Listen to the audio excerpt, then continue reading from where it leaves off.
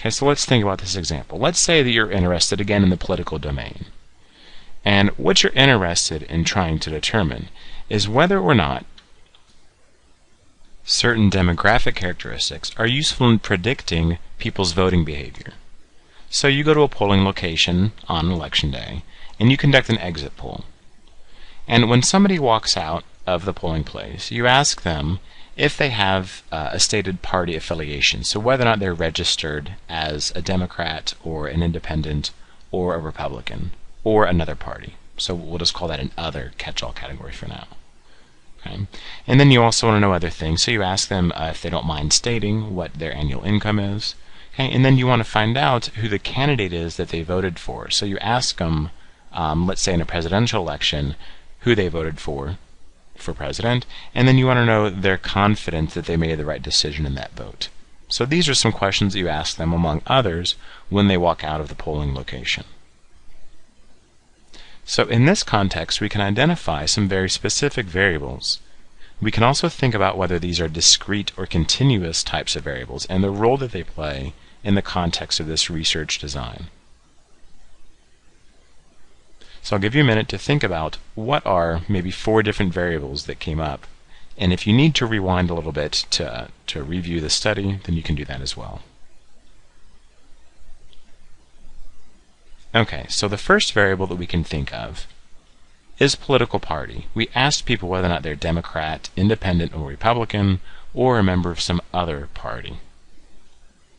We also asked people what is their income? Let's say that we're asking this in terms of their annual income. We then wanted to know what candidate that they selected. That is, for whom did they vote in the presidential contest? And finally, we asked them what is their confidence that they made the right decision. So we may want to know, for example, whether people with higher incomes are more confident in the decisions that they've made we might want to know the proportion of people in different political parties that voted for each candidate, especially the independent and other categories, perhaps, and so forth and so on. But for now, what we're interested in is how we categorize these different variables. So, political party. First of all, would this be a continuous variable, or would it be a discrete variable? And then secondly, in the context of this research study, is this an independent variable or a dependent variable? In this case, political party would be a discrete independent variable. It can only take on, in our case, one of four different values. Discrete, or Democrat, Independent, Republican, or other. So there's only four specific values it can take on. Someone can't be independent but leaning Republican. In this case, we didn't give them that option. So it's not something that can be measured on a continuous political spectrum from perhaps very, very liberal to very, very conservative. Secondly, it's an independent variable. We're interested in whether or not political party is able to predict the candidate that they ultimately select. In this case, we want to know whether or not political party has an effect on another variable. That is, it's an independent variable. Secondly, we asked about annual income, which was another independent variable in the context of this study. But annual income can be measured continuously. That is, if we wanted to, we could measure down to the penny how much somebody's annual income is. Now, even though technically that's going to provide us with a finite number of different values, okay, there's so many values on this scale that for all intents and purposes, this would be considered a continuous scale. Okay, because we can measure right down to the penny, there are going to be hundreds of thousands of different values that this could take on. In fact, millions or more different values that this could take on, which is enough to consider this a continuous variable for all intents and purposes. Okay. The point here being that there's not just a few different specific values that it can take on. Now, if we ask annual income within certain ranges, so if we only give people, say, five different options, that their income is below 50,000, from 50 to 60, 60 to 70, 70 to 80, 80 to 100, and greater than 100, or something like that. And now we've given people specific options, and that would turn this into a discrete independent variable. Okay, so whether a variable is discrete or continuous, and in fact whether it's an independent or dependent variable, is always going to depend on the context of the specific research study that we're talking about. Now in this case, if you hadn't figured it out by now, the candidate that they select is going to be our dependent variable. This is the outcome, the behavior in which we're interested. We're wondering whether or not our independent variables, in this case political party and annual income, have an effect on the dependent variable, the candidate that we ultimately select. Okay? And even if there are quite a few candidates, this is going to be a discrete dependent variable where there are only going to be a specific number of candidates. Finally, let's think about their rating of confidence. Again, this is going to depend on how we ask it. If we ask people to rate on a scale of 1 to 10, 1 being not very confident, 10 being highly, highly confident in whether or not they've made the right selection, in their vote for president, then this would be a discrete dependent variable. Now again, we could measure confidence in some other way that's going to allow it to take on a lot of different values and be potentially almost continuous. But the way I phrased it here on a scale of 1 to 10, okay, this is only presenting people with 10 different values with which they can respond. And even though we might calculate an average confidence rating that might go down to four or five decimal places, each individual person is providing only one of 10 specific values, which makes this a discrete dependent variable. Now hopefully that made some sense because now it's time for you guys to think about some other examples. In particular, for the following research study, I want you guys to write down all of the different variables that you hear also, I want you to write down whether or not it's a discrete or continuous variable, as well as whether it's an independent or dependent variable in the context of this study. Now, listen carefully because in this case the answers aren't going to be provided. These are in fact going to be the responses to five of the quiz questions that are associated with this lecture.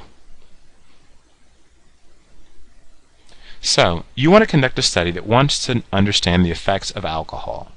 So what you do is you collect a sample of young adults and you put them in a driving simulator. And then what you do is you vary the amount of alcohol that different people have in the driving simulator. What you're interested in is, in the driving simulator, you present them with a 10-minute video clip. And what they have to do is to respond to certain situations that come up in the video clip. You're interested in the number of errors that they make in these different situations. That is, for example, failing to swerve out of the way when they otherwise should, or failing to stop at a stop sign. So you're interested in the number of errors that they make. Okay, if you guys recall from high school driving simulators, the number of times the little yellow or red light might have come on on your driving simulator. And you're also interested in particular in how it affects their reaction time. So there's a crucial element that you have in your driving simulation scene where at one point a kid's basketball rolls out into the street and he starts to run out and chase it. Of course, the correct action here is to slam on the brakes, but you're interested in from the moment that the kid starts to approach the street, so the moment that that part of the clip start, starts, until the moment when the person hits the brakes. That's the reaction time that you're going to record, and that's the reaction time in which you're interested as well. Okay? So the people that you bring into this are naturally going to vary on a lot of characteristics. In particular, you're interested in whether alcohol has differential effects on men versus women, as well as if it has different effects on people of different ages, ranging in your study from, say, 18 to 35. Now I'm going to take a moment to pause here, and again you can rewind and replay my description of this research study if you need to. And again, what I want you to do is to write down all of the variables that you have identified. Once you've done that, then you can continue and move on with the rest of the lecture.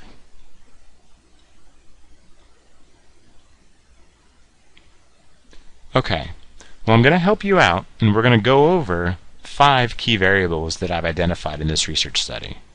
You still have to determine whether they're continuous and discrete, and whether they're independent or dependent variables, Okay, but let's go over the variables that I mentioned. Okay, at the end I mentioned that there's a couple key qualities in which you're interested, and if they interact with alcohol consumption in determining people's performance in the driving simulator. In particular, we mentioned gender and age as two key variables in which you're interested. Gender, of course, being male or female, and age ranging, uh, in this case, people from 18 to 35. The other thing that I mentioned is before you put people in the driving simulators, that you had them consume different amounts of alcohol. That is alcohol consumption. Finally, what you recorded was a key scene in terms of how quickly they slammed on the brakes. That is, you measured their reaction time. The other thing that you measured in the driving simulator itself was the number of errors that the people made across the entire scene. So these are the five key variables in which you're interested in this study. Think carefully about how each of these variables exists and how they exist in the context of the study, and try to identify, again, whether they are measured as continuous or discrete variables, and whether they are independent or dependent variables in this research context. Okay, so take a minute to write those down. You're going to need those when you, again when you submit and complete the online quiz associated with this lecture.